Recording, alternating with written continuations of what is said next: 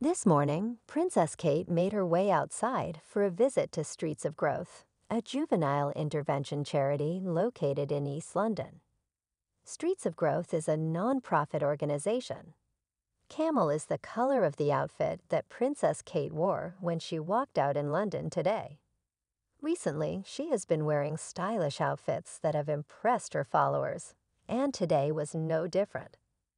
She broke up the monotony of her outfit by donning a basic white top underneath her fitted camel jacket and bootleg cut trousers that matched each other. This simple ensemble was brought together by the princess with a pair of Gianvito 105 bisque suede pumps by Gianvito Rossi, which have a retail price of 650 pounds. The blazer, which was the Roland Mouret single-breasted wool and silk blazer in camel, and retailed for 750 pounds, had very structured shoulders. Nonetheless, she wore the garment unbuttoned for a more casual and relaxed style that was appropriate for the daytime.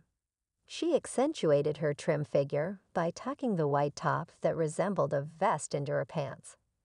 This gave the appearance that she was wearing a vest.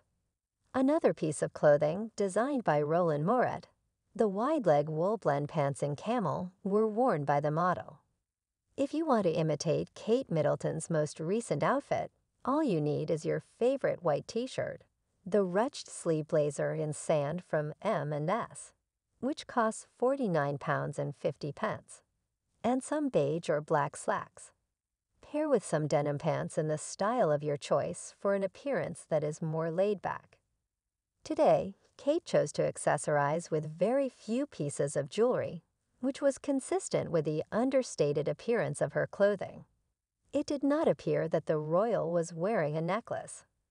However, she did choose to wear the classic citrine cushion earrings with clean gold hoops that were designed by Kiki McDonough.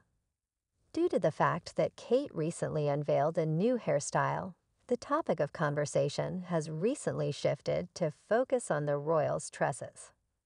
Her long dark tresses have been given a little bit more depth and dimension thanks to the addition of some curtain bangs that she had trimmed in. Additionally, it looks like she has caramel highlights and strands of caramel going through her hair. She also has some face framing highlights. Today, she wore her hair down in large curls with a tiny asymmetry in the parting between the two front sections of hair. Follow this step-by-step -step technique to create the perfect bouncy blow dry, and your hair will look just like Kate Middleton's. The princess's cosmetics was done in Kate Middleton's signature style. She chose to have dark, dramatic eyes, a hint of blusher and bronzer, and nude pink lips for her makeup look.